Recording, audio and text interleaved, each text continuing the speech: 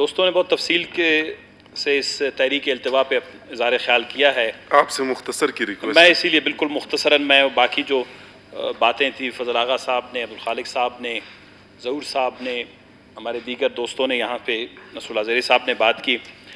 جناب والا جہاں تک بات کشمیر کی ہے ہم نے ہمیشہ محکوم مظلوم اقوام کی کی خدرادیت کی حمایت آج سے نہیں بلکہ آج سے چالیس پینتالیس سال قبل ہم قومی کی خدرادیت کے داہی جماعتوں میں سے رہے ہیں۔ ہم یہ سمجھتے ہیں کہ ار محکوم اور مظلوم قوم جو معاشی، معاشرتی اور آبادی کے اعتبار سے اس کو خطرات لاحق ہیں، تو اس کو آئینی تحفظات دینے چاہیے۔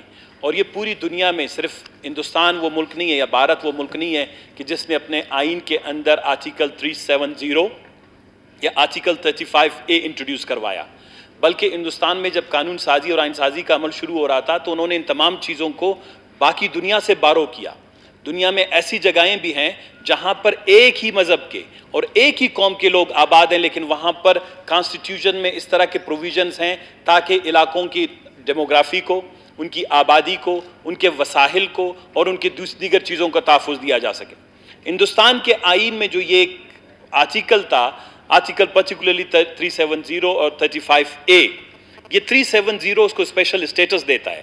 یہ یہ انشور نہیں کرتا کہ آپ بلکہ 35 اے جو انڈین کانسٹیٹیوشن کے اندر آرٹیکل ہے، وہ اسپیشل ریزیڈنٹ پرمٹس کا جو ہے، کہ یہ اختیار کشمیر کی جو ہے حکومت کو دیا گیا تھا اسٹیٹ کی، کہ وہ کن لوگوں کو اپنے ہاں آبادی، انتقال آبادی کے جو ہے، اختیار دیتا ہے، کہیں اور جگہ سے آنے دیتا ہے۔ یہ دو مختلف آرٹیکلز ہیں اور یہ آج دونوں ریووک ہوئے ہیں۔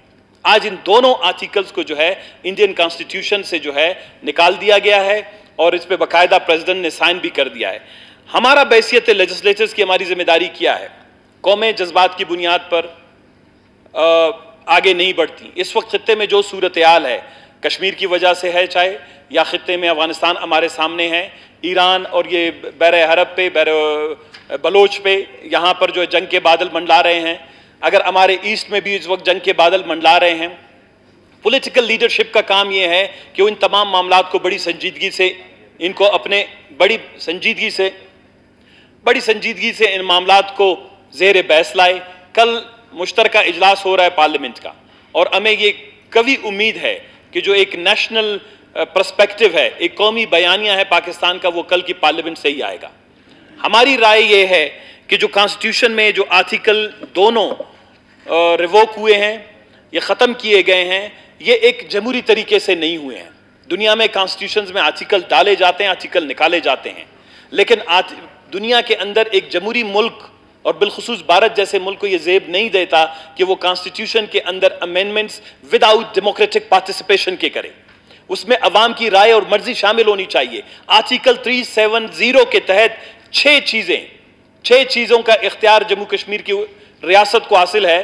مقبوضہ کشمیر جسے کہتے ہیں۔ وہ یہ ہے کہ نمبر ون آرٹیکل 370 خود اس کو یونیلیٹرلی یعنی یک طرفہ طور پر ہندوستان کی یا وفاق کی یونین کی حکومت جو ہے وہ اس کو تبدیل یا ختم نہیں کر سکتی۔ اس کے لیے اس کو اسٹیٹ کی اسمبلی سے، جس طرح بلوچستان کی ہماری اسمبلی ہے، اسی طرح کشمیر کی وہاں کی لیجسلیٹو اسمبلی سے یہ ریکمنڈیشن یا یہ اپروول اس کی ضرورت ہے۔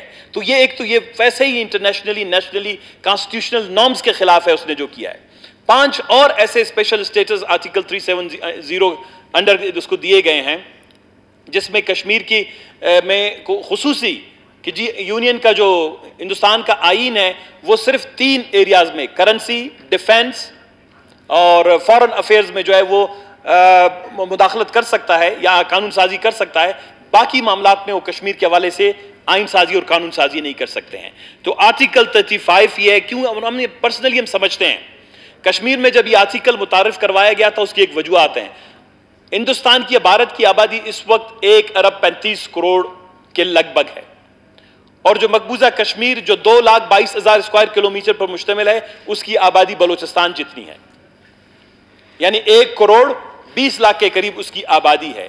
جب ایک ارب تینتیس کروڑ یا پینتیس کروڑ کے عوام کو آپ اجازت دے دیں گے آرٹیکل 35 اے کو آپ ریووک کر کے، تو اس کا مطلب یہ ہے کہ ہندوستان میں اتنا پیسہ ہے، اتنی دولت ہے اور اتنی ایکسیسیبلٹی ہے، اتنا سپورٹ ہے کہ وہ آنے والے پانچ سے چھ سال میں کشمیر کی ساری ایت اس کی آبادی کی ایت اس کا اسٹرکچر اس کی لینگویج اس کا کلچر اس کے ریسورسز ان کی اکانومی سب چیز پہ ان کی ڈومیننس آئے گی۔ یہ چیزیں سمجھنے کی ہیں۔ اور ہم یہ سمجھتے ہیں کہ کسی بھی محکوم قوم کو جب وہ کسی ریاست میں ہوتا ہے تو وہاں پر رشتہ خون کا نہیں ہوتا، وہاں پر رشتہ مذہب کا نہیں ہوتا۔ وہاں پر رشتہ قد اور کاٹ کا نہیں ہوتا، وہاں رشتہ دولت کا نہیں ہوتا۔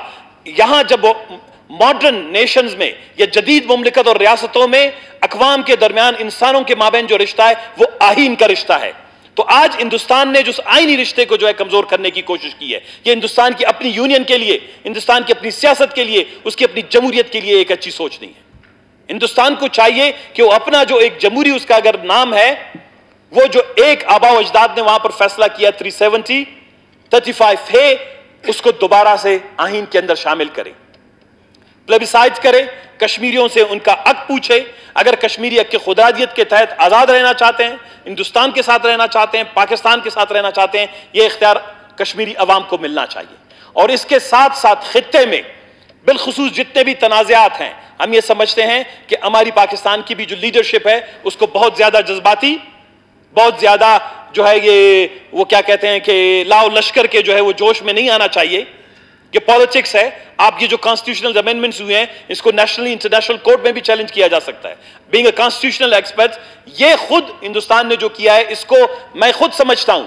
آج آپ مجھ سے لکھ کے لے لیں، ہندوستان کے اندر بڑے اچھے کانسٹیٹیوشنل ایکسپرٹس پڑھے ہیں، بڑے اچھے انسان دوست لوگ پڑھے ہیں، بڑے اچھے محکوم اقوام کے دوست پڑے ہوئے ہیں۔ یہ مجھے لگتا ہے کہ کل پرسوں جو ہے ان کی سپریم کورٹ میں چیلنج ہو جائے گا اور وہاں پر اس کو اسٹے آرڈر مل جائے گا۔ لہذا ہم یہ سمجھتے ہیں کہ ہمارا فرض یہ ہے کہ بحثیت پولیٹیکل ریپرزنٹیٹیوز کے ہم کسی خطے میں جنگ نہیں چاہتے ہیں۔ بلوچستان سب سے زیادہ جنگ زدہ علاقہ ہے۔ سونے، تانبے، چاندی، گیس کوس سب چیزوں کے باوجود آج ہمارے بچے اگر نان شبینہ کے محتاج ہیں، افغانستان کی جنگ کی وجہ سے، جنگی پالیسیوں کی وجہ سے، جنگی سوچ کی وجہ سے۔ اگر یہ جنگی سوچ کو کسی طریقے سے اس پورے پورے آلات میں کسی نے ابارنے کی کوشش کی، تو اس کا خمیزہ ان لوگوں کو بھی بھگتنا پڑے گا جو براہ راست جنگ سے متاثر ہوں گے۔ اور ہم جیسے لوگ بھی جو یقیناً جنگ کے علاقے سے دور ہیں، لیکن غربت، افلاس، بھوک، جہالت، یہ بھی ہماری قسمت میں آئے گی۔ تو میں یہ سمجھتا ہوں کہ جنوبی ایشیا کو اس وقت سنجیدگی کی۔